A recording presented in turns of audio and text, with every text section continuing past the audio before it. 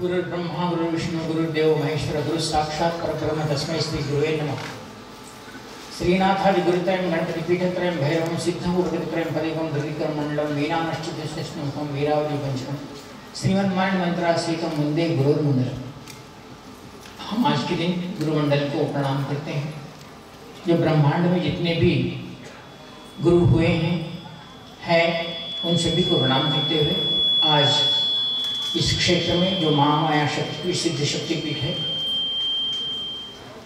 वहाँ हम यह दिव्य दिवस इसे गुरुपाल का सिद्धि दिवस कहा जाता है। ऐसे दिवस के दिन हम एक गुरुपालकों की पूजा कर वह सिद्धि जो देवताओं के लिए भी दुर्लभ है ऐसा कहा गया है। गुरु जी ने अपनी विशिष्ट दुर्लभ सिद्धिया में इस गुरुपाल का सिद्धि दिवस के बारे में कहा गया कि गुरु पूर्णिमा से भी श्रेष्ठ है। इस दिवस के दिन जो अपने गुरुपालकों पर नतमस्तक होकर विशेष विधि विधान के साथ उसका मंत्र और पूजन करता है, वो गुरु कृपा को प्राप्त करता है। इस बारे में हमें कथानक कहा गया है कि जब प्रजापति ब्रह्मा के पुत्र प्रजापति का उद्भव हुआ ब्रह्मा ने कहा कि मुझे सृष्टि करने के लिए कुछ सुधर नहीं रहा है मुझे क्या करना है? तब उन्होंने कहा कि तुम किसी गुरु का आश्रय ले लो तब तुम्हें तुम्हारा उसका ज्ञान होगा तुम सृष्टि की रचना कर सकोगे। तो सृष्टि की रचना करने के लिए कोई कोई ना कोई तो शक्ति चाहिए तब सुयशा नाम की एक दिव्य कन्या के साथ उनका विवाह हुआ। और ने कहा कि इस संसार में सभी को कोई ना कोई मार्गदर्शन मिले, क्योंकि जब संसार में आता है तो उसको हर वृक्ष, पानी, जल, फल जो भी हमारे पंच महाभूत है, उन महाभूतों का ज्ञान नहीं होता जिस महाभूतों से हम बने तब प्रजापति ब्रह्मा ने भगवान शिव जी का शिव जी की आराधना की, जो आदि गुरु कहलाए जाते हैं। जिनको, जिनके गुरु विष्णु है, विष्णु के गुरु शिव है, ऐसा कहा जाता है, और इन दोनों को भी मानने वाले ब्रह्मा जी कहे गए हैं। इसीलिए हम गुरु ब्रह्मा, गुरु विष्णु, गुरुदेव, महेश्वरा, ऐसा कहते हैं। तो प्रजापति ब्रह्मा ने कहा कि मार्गदर्शन करने वाला कोई ऐसा मुझे दिव्य पुत्र दे दो प्रभु, जो आपके गणों में स्थापित हो और किसी साधना से श्रेष्ठ कहलाया जाए, ऐसा उन्होंने भगवान शिव जी से प्रार्थना की। उनके बहुत हज़ार वर्ष के बाद जब उनकी तपस्या सफलीकृत हुई थी, शिवाजी शिव जी ने कहा कि हाँ तुम्हें मैं ये दिव्य पुत्र को प्रदान करता हूँ। वह इस गुरु परंपरा को इस संसार में रखेगा और मेरा प्रियतम होगा। उस प्रजापति को जो पुत्र उत्पन्न हुआ। वो धीमा धीमा बढ़ता गया तो उनके पिताजी प्रजापति ने कहा कि तेरा जन्म शिव जी को गुरु मानकर आगे चलने के लिए हुआ है। शिव जी की कृपा प्राप्त करने के लिए हुआ है। तो तुझे शिव जी का जप करना है। उसने शिव जी का जप आरंभ किया। जब उसका एक करोड़ जब पूर्ण हुआ तो शिव जी प्रत्यक्ष हुए अब कहा कि बोल तुझे क्या चाहिए?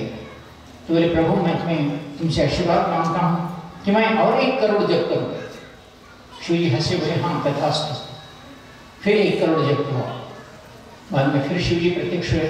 बोल तुझे क्या चाहिए? मैं तुझे प्रत्यक्ष हुआ उसने कहा, प्रभु, मुझे और एक करोड़ जप करने की इच्छा है, लालसा है। मुझे आशीर्वाद दो कि मैं और एक करोड़ शिव जी का आपका मंत्र जप करूँ। फिर भी शिव जी ने तथास्तु कहा। जब शिवाजी शिव जी इसी प्रकार का तथास्तु कहने लगे तो तीसरा करोड़ जब पूर्ण हुआ तो उसने फिर कहा कि प्रभु मैं और एक करोड़ जब करना चाहता हूँ तब शिवजी ने कहा अब बस हो गया क्या तुझे तू मुझे अपने में समाहित करना चाहता है मैं तुझे आशीर्वाद देता हूँ कि तू मेरे साथ रह जा और मेरे गणों में तू श्रेष्ठ गण कहलाया जाएगा मेरे जो गणों में तेरी श्रेष्ठ पदवी होगी और यह बात कहता हूँ कि तेरी इच्छा क्या है तो उन्होंने कहा कि प्रभु, मैं आपसे कभी बिछड़ कर नहीं रह ना रहूँ इसलिए मुझे आशीर्वाद दो कि मैं आपसे बिछड़ू नहीं तो शिव जी ने कहा कि तू बिछड़ के नहीं रहेगा और कभी भी मेरे पास ही रहेगा, इसलिए तुझे मैं मेरे गणों में शामिल करते हुए मेरा वाहन बना रहा हूँ और उसे नंदी कहा गया। जो आनंद हम कहते हैं, उस नंदी के रूप में उन प्रजापति उस प्रजापति के पुत्र के रूप में नंदी का आविर्भाव हुआ और नंदी ने उस दिन कहा कि प्रभु, आज से बताओ कि मैं आपकी सेवा किस तरह कर सकूँ। शिव जी ने उस दिन उनको कहा कि मैं तुझे मेरे पादुकाओं की पूजन, मेरे चरणों को देखते हुए तो अगर मैं बैठ सकता है तो मैं तुझे वो साधना प्रदान करता हूँ। और आदि गुरु शिव जी ने नंदी को यह साधना आज के दिन ही प्रदान की थी। इसके बाद अत्रि महर्षि के पुत्र दत्तात्रेय जी हुए। दत्तात्रेय जी महान तपस्वी थे, विष्णु के अंश थे और गुरु में गुरु आदि गुरु कहलाने के लायक थे, जो पृथ्वी पर उत्पन्न होने के बाद उन्हें आदि गुरु के रूप में भी कहा गया है। उनके जीवन में एक शिष्य हुआ, जिसका नाम था कार्तिवीर अर्जुन वो कृतवीर का पुत्र था और अपने गुरु की इतनी सेवा मन से करता था कि उसकी सेवा से दत्तात्रेय बहुत प्रसन्न थे। कहते हैं कि वो एक बार दत्तात्रेय जी को उनके गोद में बैठे बैठे नींद लगे, गोद में सर कर सो रहे थे, नींद लग गई। और किसी सांप ने आकर उनको काट काट लिया। तो उन्होंने उठ तक नहीं कहा, इसलिए कि कहीं मेरे गुरु जी का नींद खराब हो जाए, उठ न जाए। और वैसे ही बैठे रहे, उनके शरीर में विष व्याप्त होने लगा। तो वे वैसे ही बिना रहा करते हुए वहीं खड़े रहे। ये बात दत्तात्रेय जी की समझ में आ गई और दत्तात्रेय जी उठे बोले, आज तक मैंने तेरे जैसा शिष्य नहीं देखा। आज से तुझे कोई भी विष तेरे ऊपर प्रभाव नहीं करेगा। यह बात कार्तिक अर्जुन को उन्होंने कही। कार्तिक अर्जुन ने इस के बाद उन्होंने कहा कि, हे कार्तिक अर्जुन, मैं तेरे शिष्य की सेवा से बहुत प्रसन्न हूँ। और मैं तुझे सारा सामर्थ्य प्रदान करता हूँ। तो संसार में कहीं भी जा, विजयी होगा। तो उन्होंने कहा, प्रभु, मुझे विजयी होना या कहीं पर जाने के लिए कभी मत कहो। मैं आपके चरणों को छोड़ के कहीं जाऊँगा ही नहीं। बस ये आशीर्वाद दो कि मैं आपके चरणों में नित्य निरंतर आपके चरणों की सेवा करते रहूँ और आपके चरणों की धूल का तिलक करते रहूँ और आपकी सेवा करते रहूँ। मुझे कहीं दूर जाने की बात मत करो। लेकिन दत्तात्रेय जी ने कहा कि अगर मैं एक सामर्थ्यवान शिष्य को बनाता हूँ तो इसका अर्थ यह है कि वो लोग कल्याण के लिए काम आए। तेरा यह कहना ठीक नहीं है कि तू मेरे पास ही रहेगा। उसने कहा, आप कुछ भी करो, आप जो भी काम मुझे सौंपेंगे, उसमें मैं मेरे गुरुचरणों से दूर नहीं हो सकूँ। ऐसा आप कुछ भी मुझे आशीर्वाद दो। बाद में भी जो काम बोलना है, आप दो। इससे पहले मैं आपको एक बात बताता हूँ कार्तिक विद्यार्जन कौन थे? कार्तिवीर्यार्जुन को भगवान विष्णु का सुदर्शन चक्र जो है वो अवतार कहा जाता है।